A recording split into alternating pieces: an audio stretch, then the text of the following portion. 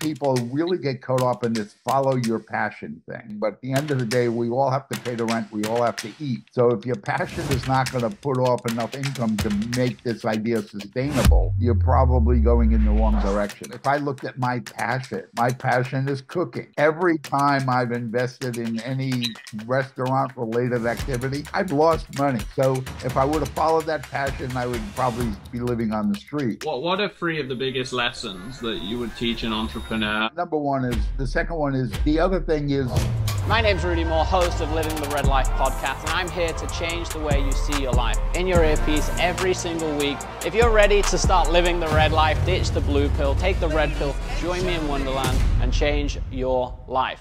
Guys, what's up? Welcome back to another episode of Living the Red Life. Today we've got Larry joining us from Entertainment Television. You've probably heard about it. You've probably watched The Kardashians and many of the other shows that he's helped produce and bring to life. Um, you know, if you don't know E News or Entertainment Television, they are valued around $5 billion.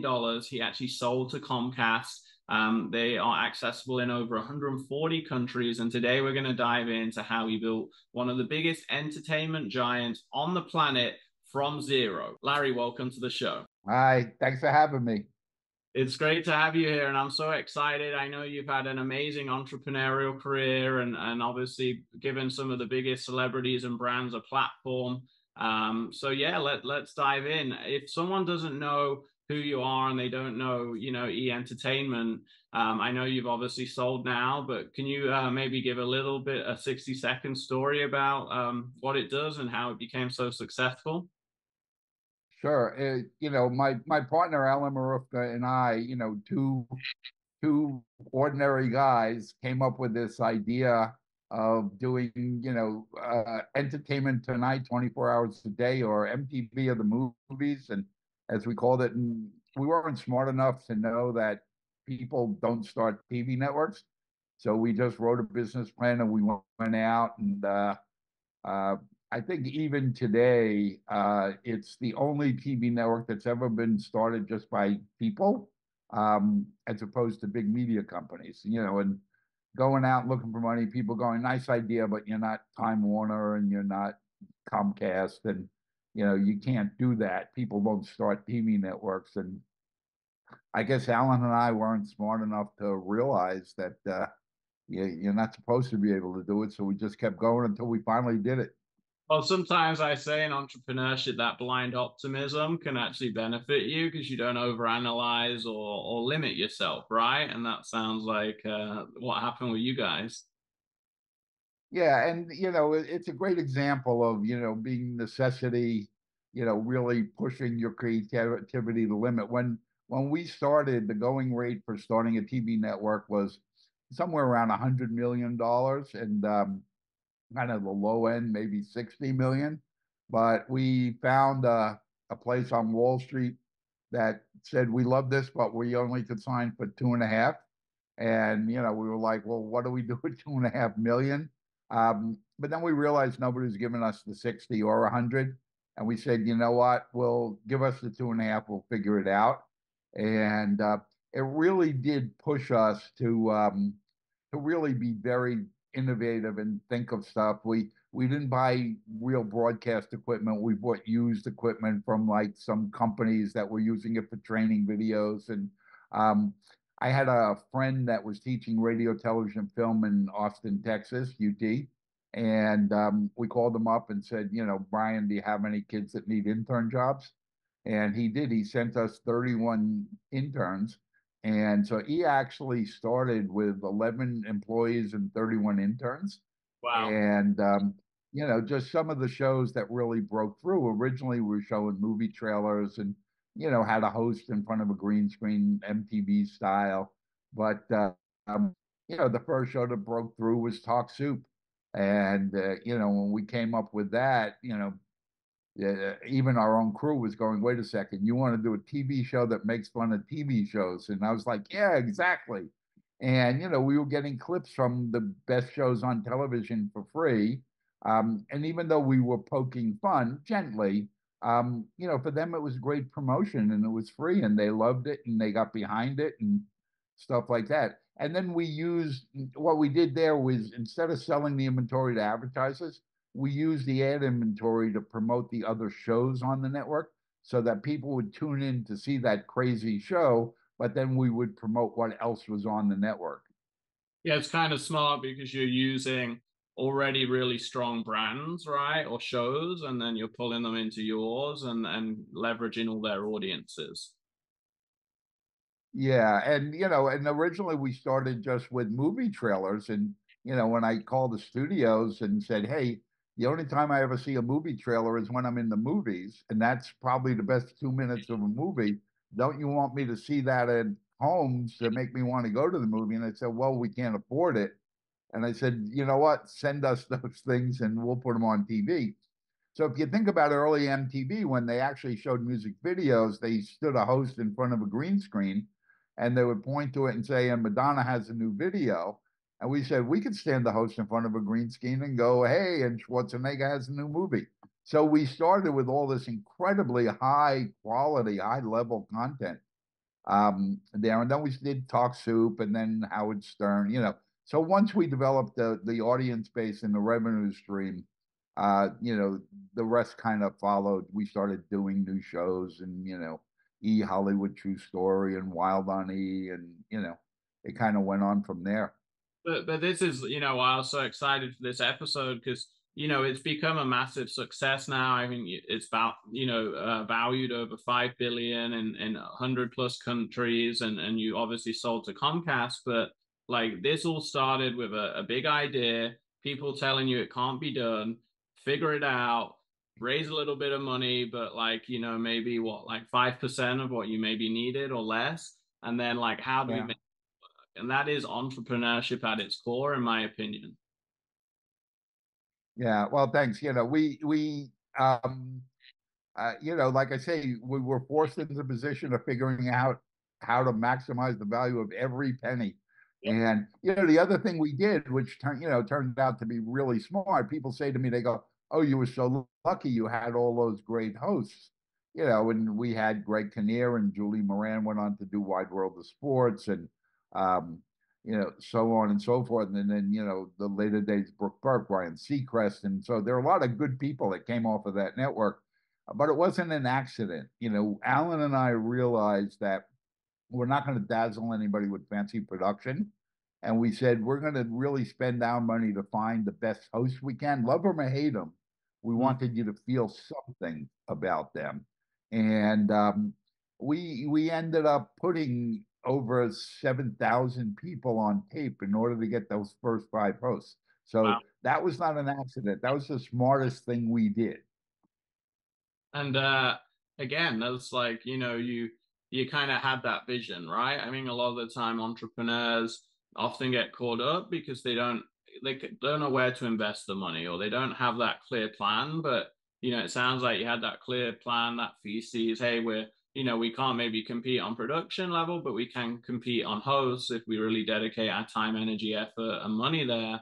And and obviously it paid off, right? And and if someone's listening, what what are some of the other shows? I know we spoke about you know a famous uh, one, but what are some of the other shows that came out of all of this? You know, Talk Soup ran twenty something years, and then Howard Stern obviously did well, and then Wild on E and E Hollywood True Story, and uh, you know, in in uh, you know, Ryan Seacrest, E, e News has been a staple of television around the world for many years now, and you know, then of course the probably the one that um, everybody knows is the Kardashians. Yeah. Uh, you know, that's you know a, a global success, not just in terms of audience, but look at what it's done to elevate the Kardashians into becoming a global brand.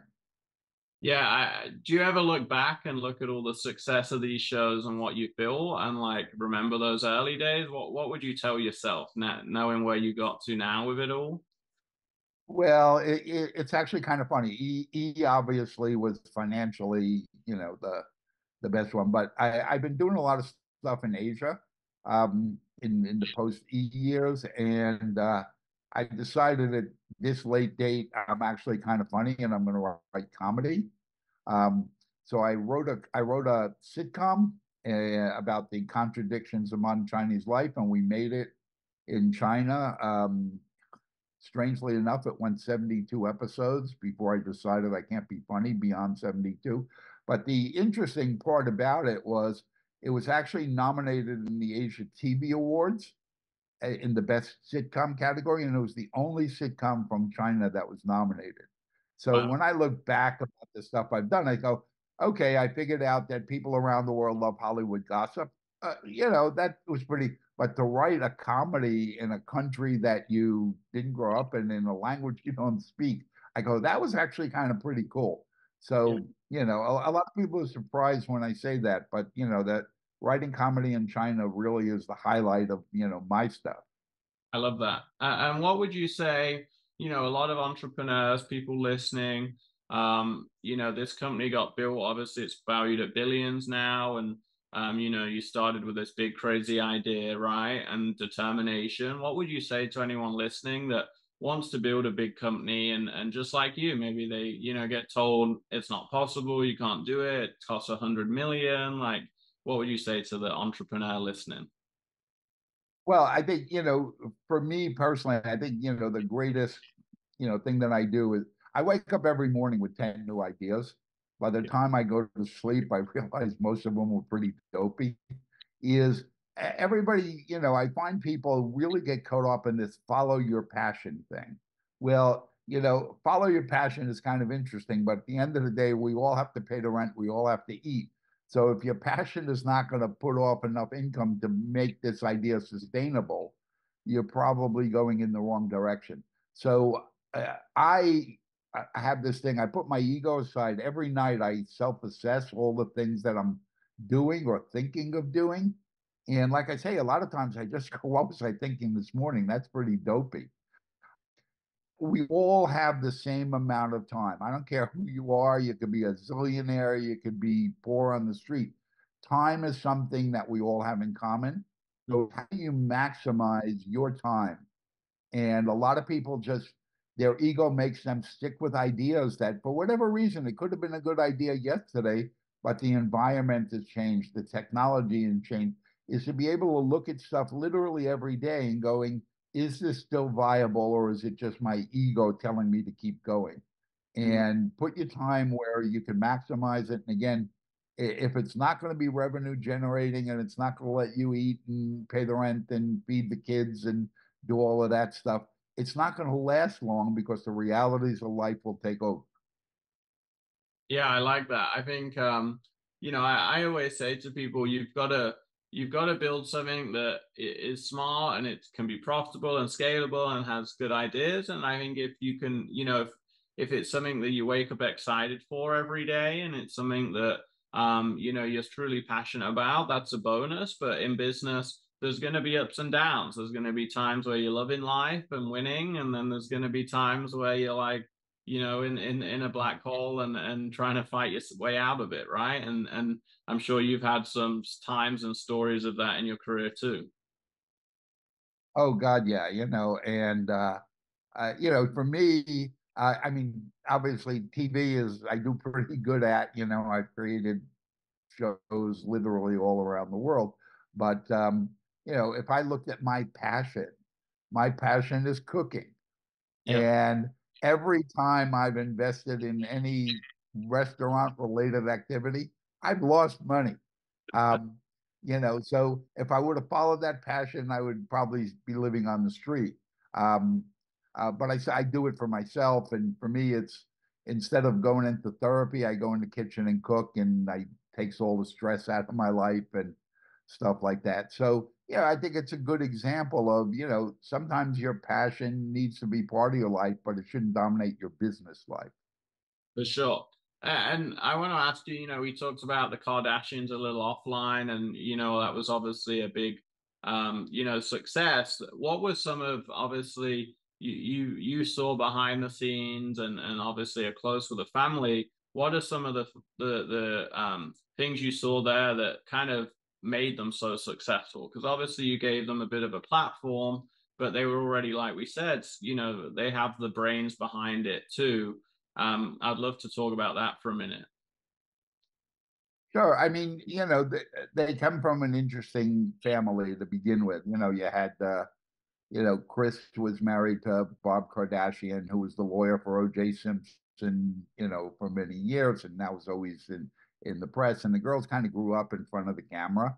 Um, you know, then Kris um, uh, ended up with with Bruce before Bruce became Caitlyn, and uh, they just they were doing infomercials. They were they were always in in in the public eye. And you know, quite honestly, I think he certainly we gave them the platform uh, to show off.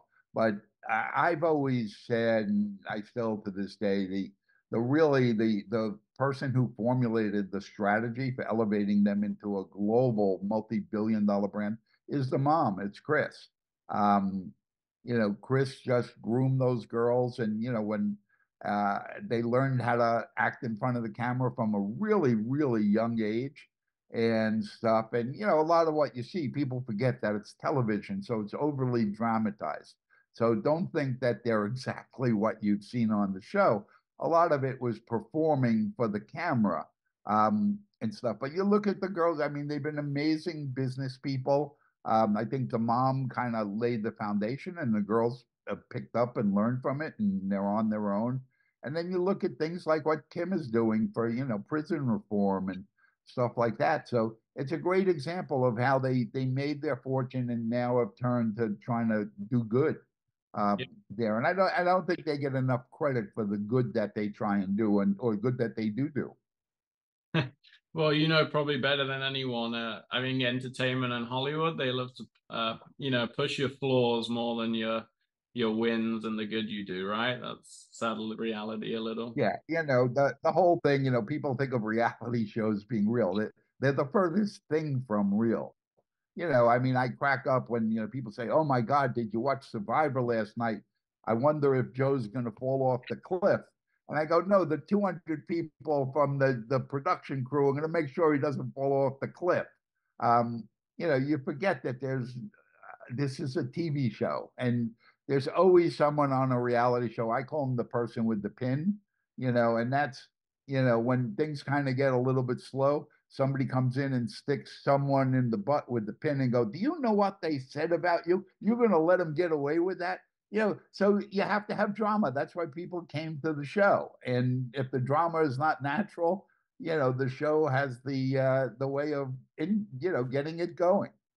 Yeah, I just I shot my first TV show last year as this summer, and uh, I re- just shot a second show where it was kind of my show, and I fully produced and directed it. Um, and uh, I was the guy with a pin quite a few times, you know. To you know, I mean, real life is more like this, whereas in TV it has to be like yeah. zero to a hundred, right?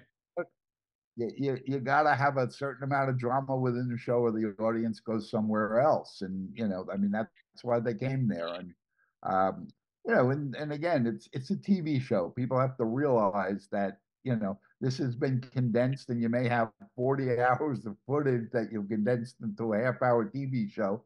And it, you're showing the audience only what you want them to see. Yeah, yeah. And that, but that is the, the art of, storytelling, right? And creating content, which we now do on social media, on TikTok, on YouTube. But you know, that psychology of how we like to consume content is is generally the same. Our attention spans might be shorter than ever, but at our core as humans, I think we like to be entertained, educated, motivated, inspired. Um, so yeah, and obviously you did a good job on those.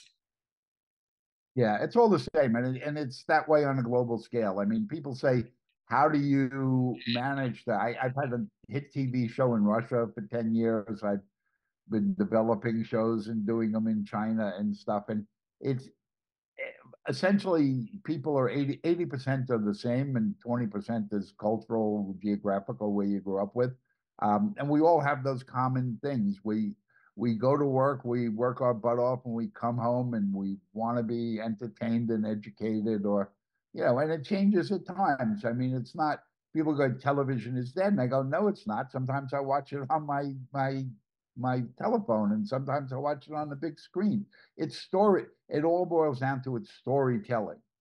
And sometimes I want it on the big screen, sometimes I want it small, sometimes I want it in in two minute bites. Sometimes I want it in one hour so I could just lump out on the couch. It's all of those things. It's not one of those things. Yeah, I love that. So, you know, obviously building this business for many years, it's been very successful. But what what are three of the biggest lessons that you would teach an entrepreneur? Like I always like to ask from someone that's been in it and kind of came out and exited and built a successful company. Three lessons you would love to teach the audience listening today. Well, I mean, so, some of the stuff. I mean, no, number one is this: don't get caught up in the follow your passion thing. Um, yeah. Really be honest with yourself and self-assess everything you're doing to make sure you're maximizing the value of your time um, in in every way possible. Uh, you know, the the second one is always hire. Look at the different components of what your your your task is going to be, and hire people that actually can perform those things better than you can. I mean, I'm really good at managing people, but if you were to tell me uh, go edit this, I could hire editors that are so much better than I am, but I know how to manage those editors. So always hire smarter. And um, you know, the the other thing is, you know, just really um, uh, pay attention to the environment. Um, you know, the business climate changes, the technology changes. Now everybody, it cracks me up. You know, uh, fighting uh, artificial intelligence, going, "Oh my God, we it's going to take our jobs. It's going to put." It it could be one of the greatest tools you've ever used if you learn how to use it. And you know, people say, what would be a good, um, you know, a job for the future? I said, learn how to prompt.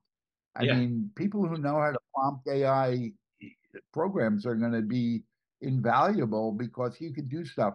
I, I mean, in my example, if if you were to come to me and say, "Could you design a TV series about X Y Z?" Normally, it takes me five days to kind of lay it out and develop it and whatever now, you know, I've been using GPT from when GPT was just starting and uh, GPT4. It now takes me 30 seconds Crazy, right? get it. I spend about an hour cleaning it up because it never comes out right. It comes out 80%. So now in one hour, I'm getting done what used to take me five days. So I can either do more of those and make more money.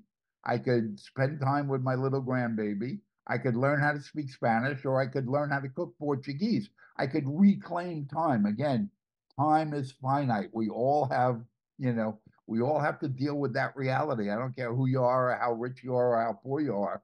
It's we all have time and time is measured by, you know, some supreme being who decides how long we're going to be here. Yeah, I love that. We uh we've had about eighty thousand entrepreneurs through our. On, we have an AI um, event online where we teach entrepreneurs this, and you know we it's changed how we run our business. And even when I was filming my show uh, a couple of months ago, one of the challenges. It kind of messed up and we weren't able to get it, you know, all the props and stuff in time. And we literally went on there and in 10 minutes we had a new challenge idea that was able to pull off within 24 hours, right? It's just crazy. And, yeah. you know, they, the 80% thing's fascinating because a lot of people complain about that to me. And I'm like, you know, I've hired thousands of employees. I have about 100 employees now. And I go, that's just the same level an employee would get it, but I don't have to wait a week and pay them a bunch of money, you know? So. Yeah, no, it's, um, it, it, I think, you know, the thing with AI, it could be dangerous. We, we don't have our, our regulators, lawmakers, politicians haven't really begun to understand it yet. So there's nothing that governs this thing. I mean, in the example I use, if a 12 year old kid decides they want to drive a car, they can't just get in the car and drive. You got to be a certain age. You got to take driver's education. You got to take a driving test. And then you have to obey the rules of the road. I think with AI, it's the same thing. I mean, there needs to be something that says people who have bad intentions know there are consequences for getting caught ex- exercising bad intentions. But you know, you go back and you look at you know, cavemen used to paint on the wall of a cave, you know, with like blood. And they weren't real happy when somebody invented canvas and paint. Um, you know, horse horse ranchers weren't thrilled when somebody invented cars. Um, technology marches on whether you like it or not. I think the music business probably learned that lesson.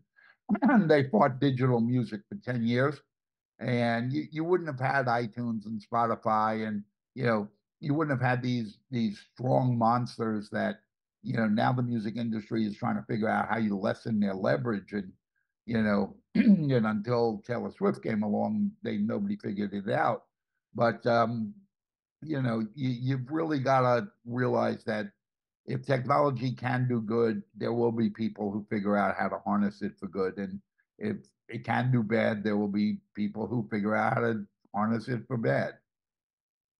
Yeah, totally. So, um, you know, we're we're wrapping up today. I appreciate all the lessons. It's been awesome to dive into your career and and you know, obviously building this massive um, entertainment empire that many of us have known and consumed, and all your lessons doing that. Uh, last question I always ask everyone: um, What are you up to now, and where can people learn more about you? Sure. Um, you could go to LJN at um, ljnmedia.com and find out more about what we're up to. Or my company in China is called Metan Global, M-E-T-A-N global.com. Um, with COVID, I started doing stuff in the U.S. again, and doing. Um, uh, I, we just created a series, Financial Wellness for Millennials. Uh, we just did another series called Conscious Parenting about the difficulties of being a parent in today's complex world. Um, we're working on finishing up the development of series called Uncanceled, all about cancel culture, which I, you know, uh, I don't care what side of the fence you're on, you can't. Uh, I saw something today where Disney decided Tinkerbell was not politically correct to be a greeter at Disneyland, and because her body image is, I'm like, this has just gone way over the top. So we're doing something to create a platform for people who have been canceled, right or wrong, to at least get their side of the story out there or apologize for, you know, sometimes they say, hey, that was dumb. I shouldn't have done it and apologize. And then the other thing I'm doing, there's um uh found a woman out of the UK named Natasha Graziano, who six years ago was a homeless mom in London. Uh, Today, she's a life coach to will.i.am and Steve Aoki and folks like that. And she's uh, living in Bel Air. And um, so we developed a nighttime talk show around her because, interestingly enough, there are no women in late night television in the U.S. Um, with and she's less of you know, so Tom Cruise, tell me about your next movie, and more about she'll interview like King Bach, who you know was a big Vine star at you know one time, and you know, really get into like what what are your feelings about life and emotions and relationships and things like that. So she's very motivational, inspirational, as opposed to promoting your next media project kind of thing. She's a, she's a good friend of mine too. She's um, supposed to be on the podcast as well soon. So small world. yeah, no, she's uh, she's different. You know, we did a I shot a pilot with her and um, you know, it's interesting because she is totally different. We shot it in a nightclub on La Cienega, um, yep. as opposed to shoot it in TV studio. And um, and you know, we actually use John Leguizamo's production company. So you know, we have a woman host and an all Latino production crew, and uh, you know, and it, it's a it's a very different take on late night television. It's a throwback to an old show that uh, Hugh Hefner used to do called Playboy After Dark, where you felt you were kind of a fly on the wall looking in on his living room on a Friday night, and his friends would just drop in. Um, and that's kind of the feel of the show. It's it's somewhere between Playboy After Dark and and Graham Norton, uh, you know, out of the UK. It's it's not your traditional host behind a desk talking to a guest sitting in a chair next to him kind of thing. Love it. Cool. Well, Larry, thank you so much for uh, coming on the show, and it's been an amazing uh, time here. And I I know everyone uh, probably had an amazing, amazing experience uh, learning. Obviously, such a massive company that you've built. And uh, guys, that's a wrap. Until next time, keep living the red life. Take care.